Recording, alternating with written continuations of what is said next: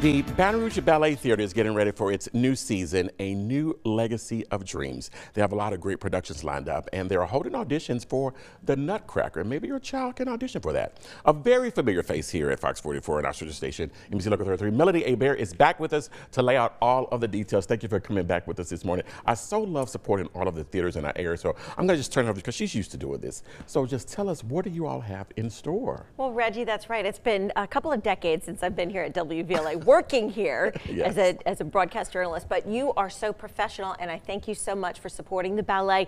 Listen, this is a huge year. First of all, you mentioned our theme, mm -hmm. A New Legacy of Dreams. The reason why we chose that theme is because we have two new artistic directors, and we sort of have this theme about dreams this year. Every year we do the Nutcracker, and that has been happening for 31 years in our community. It's the Nutcracker, A Tale from the Bayou. It was choreographed by Molly Buchmann and Sharon Matthews, who just retired last year. So Jonna Cox and Rebecca Acosta are our new artistic directors this year. Did I say athletic director? Artistic directors yeah. at the Baton Rouge Ballet Theater. You see what living in Baton Rouge does that to you. You're looking at video right now of uh, the Nutcracker, a tale from the Bayou in its full effect at the Baton Rouge River Center Theater. Guys, if you've never been to this show, it is amazing. It's stunning. And Molly and Sharon really contributed so much to the community by leaving their legacy with this show, The Nutcracker Tale from the Bayou. So we're giving everybody in the community, ages, well, grades second through eighth, the opportunity to be in this show. You actually don't even need dance experience.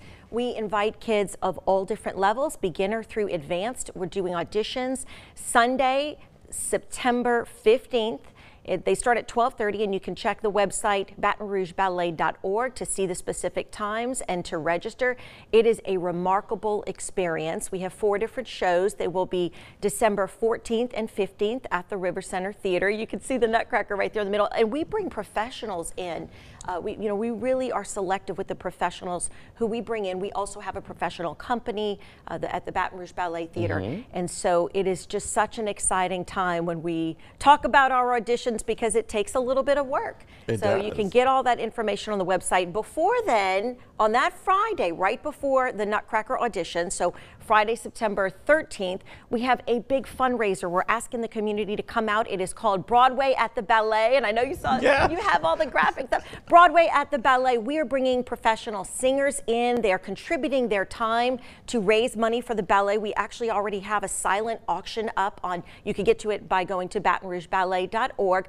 Uh, we have so many different fun items to contribute and you get a private, intimate show. It's like everybody has first a front row seat. Ah. You have ah. singers and dancers and food and drinks and the silent auction. It's sponsored by Blue Cross, Blue Shield of Louisiana. And we're very excited about that. The tickets tickets usually sell out, so they usually sell out the week of. So now we're about a week away. So we would love the support from the community, and that is Broadway at the Ballet. And one more thing, the season tickets this year. So this year, not only are we putting on Nutcracker Tale from the Bayou, mm -hmm. but we that and so that's December 14th and 15th. But in the spring, we are bringing in a guest company called Body Traffic in partnership with the Manship Theater. That will be at the Manship Theater. That's March 29th and 30th, and then in April, we're bringing a brand new production to Baton Rouge. This will be oh. choreographed by our new artistic directors, Jonna and Rebecca. That's April 12th and 13th. That will be again at the River Center Theater. Alice in Wonderland. It's ah. so exciting. So the best way to support the arts for the whole year and the, the most cost effective way for you is to get the season tickets. And if you buy your season tickets by September 30th, you'll get the best discount. You won't have to pay any fees and you'll get an additional 10% off and you'll get the best seats. So that is a fantastic Christmas present. It We're is. getting, you know, trying to get our Christmas presents done early it's or your holiday time. presents. Yeah, so season tickets, September 30th is the deadline to get the best seats, the best tickets, the best price, all that stuff. So Broadway at the Ballet, September 13th. Mm -hmm. Friday, uh, get your tickets now. They're going to sell out or bid on auction items. Sunday, September 15th, Nutcracker auditions. auditions. Be there or be square. For second through eighth graders. Second through eighth graders. And the more advanced roles are reserved for our company members like okay. Clara. And so they've already auditioned for company. But if you're advanced and you'd like to come to the Baton Rouge Ballet Theater, we talk about those in the spring.